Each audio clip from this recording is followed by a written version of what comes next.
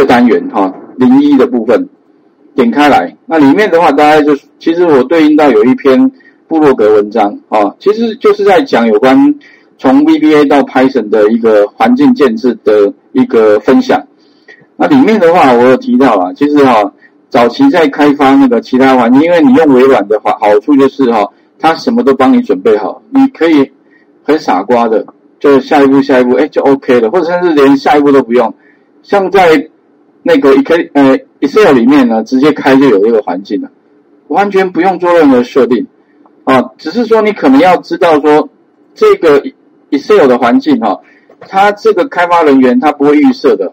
你必须要把它叫出来，应该知道哪里叫吧？不知道啊？那叫那个什么？上面有个小箭头嘛，哈，其他命令，好，小箭头其他命令里面呢，那在一，因为我们这版本是二零零七的，在常用常用里面就有一个什么，在功能区显示什么呢？那个在功能区显示。开发人员标签哦，那因为呢，Excel 它的设计呃逻辑就是，反正一般人是不会用到这个。如果会用到这个，都是你要额外去把它开启的啊。不过通常啊哈，当然没事，一般办公室人员不会去开启啦，除非说他有开发需求的。好，所以其实一般当然你在办公室也可以去看一下同事啊，如果他有开开发人员的跟没开发人员，其实他功力应该就不一样。好啊，里面的话我们可以什么？打开它之后呢，马上就可以看到什么？这个 VBA 的环境呢，就可以直接拿来写东写点东西了。那写写程式的话呢，不外乎就是你先插入一个模组，在模组里面插入程序就可以写了。而且呢，另外有一点哦，就是它的除错环境也非常优秀，也就是它可以逐行逐行慢慢跑，然后如果有错误，它也可以比较贴心的告诉你。但是呢，有些东西哈，在写 Python 不见得都具备有这些环境哦，这么好用的啦，哈。所以有的时候说，如果你只是需求很简单，你的工作都在 Excel 里面的话，那你倒不如你就学 VBA 就够了。OK 哈啊，如果说你不是这样，你可能哈还有很多的可能要去解决的问题，那你就再延伸去学 Python 吧。那最好的是两者你都会，而且懂得把它。两者互相搭配使用，就是截截取长处啊，哎，它优秀的地方就用它。比如说处理 Excel 档案，Excel 的资料，那这样不外你就直接已经是在自己的环境里面有这个东西，你就直接用 VBA 就好了。你如果用 Python 来做的话，不见得比较容易啊。为什么？因为我们都，比如说你在已经在台湾了，你就直接不用拿护照。对，但是如果你是外国人的话，你来台湾你就要护照嘛，对，你也没有比较呃特殊的待遇，像我们出国一定要护照，护照不见得还真的是麻烦，对不对？你还要一把护照拿好，OK 哈，一样的道理。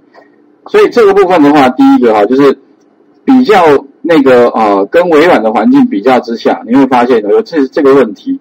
那底下我有说一些说明了哈，但是。我们要怎么样哈，可以让那个啊 Python 呢哈，也能够尽快的能够让它很方便的开发。在这个地方，我们就需要做一些设定。那哪些设定哈？这边我说一些说明哈，你们可以自己稍微看一下。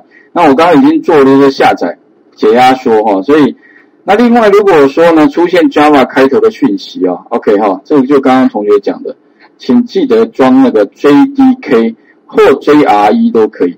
那 JDK 实际上就是 design，就是可以写程式的。JRE，RE 的话就是指 runtime，就是只是执行，因为它一定要有 Java 的函式库啊。那接下来的话呢，哈，我们把 Eclips 开启之后的话，还要再做什么事呢？因为目前哈，这两个资料夹目前在 C 碟底下，它目前是没有连接的，所以呢，我们必须怎么样呢？告诉他说呢，哈，哎，我。的那个韩式库，所以解出来的话，我必须告诉什么？先执行 Eclipse，告诉 Eclipse 说，哎，我的韩式库放哪里？放在这里，跟他讲一下。OK，那你要怎么跟他讲哦？就需要到那个 Eclipse 里面做设定。那设定的方法特别注意：一，请你开启那个 Eclipse 哈；第二个的话呢，请你到那个 Windows，好，上面有一个 Windows，里面的话有一个那个哈，这个 Preference 这边哈，你就把它点选。OK，这边哈，后面看得到了哈，还是要切画面。我画面切一下好了，它后面可能会看不太清楚哈。来看一下哦，OK，好。那再来的话呢，Windows 里面的 Preference 这边啊，所以待会啊开启一个就是接下来呢做设定，这个设定的动作主要是告诉他说，哦，我的 Python 放哪里？因为 e c l i p s e 的作用是编辑程式。那你要告诉他说，Python 的函式库放哪里？那怎么告诉他？一，好，这边什么？Windows Performance。第二个的话呢，找到什么？py 开头的 pydiff。这个东西的话呢，接下来就是再到 interpreter 这边啊，点下去，然后找到那个 interpreters。哎，OK。接下来的话呢，哈，请各位哦，这边 Python 哈，这边特别重要，这边比较麻烦一点，因为它。有三层的那个路径，那在接下来的话扭一下，告诉他说：“哦，我的东西放在 C 碟底下，所以 new 按一下 new。new 里面的话呢，哈，有个 browse，跟他讲说啊，browse 一下，我的路径就是放在哪里呢？放在我的 C 碟底下，会有一个 Python 三七三二。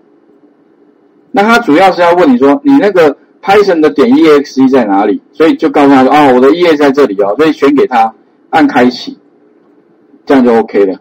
啊，特别重要，browse 一下，按 OK，他会找到什么啊？你这个目录里面的函数库我都帮你找到，是不是这一些？哎，是，这就 OK 了。哦，它其实意思就是说了哦，反正我一个是函数库，一个是编辑器，那我要把它 m a 在一起。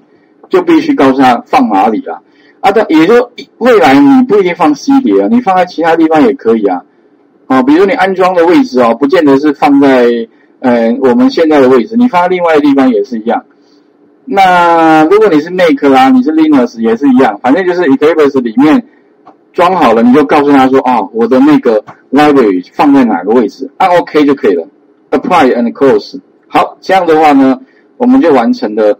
第一件事情了，好，接下来的话我们要测试，OK 哈，如果你已经设定好之后，接下来哈，我们就要来写一点程式了。那写什么程式呢？比如说我就如果写程式，好，所以特别说设定哈，设定好之后，我们就要开始 new 一个什么，new 一个 project。但是这个 project 啊，特别注意哦，它预设好像是 Java，因为这个环境本来是写 Java 的，我只是把它拿来改成写 Python。所以接下来要怎么样？另一个呃 Python 的专案，然后开始写程式，好，下一阶段，那请各位先试一下哦，设定哦，哦，在 Windows Preference 里面哦，找到一、二、三，OK new 一下哦，尤其这边 browse，你要按一下 browse，它才会跳出来，找这个哦，来，画面先还给各位哦，试一下。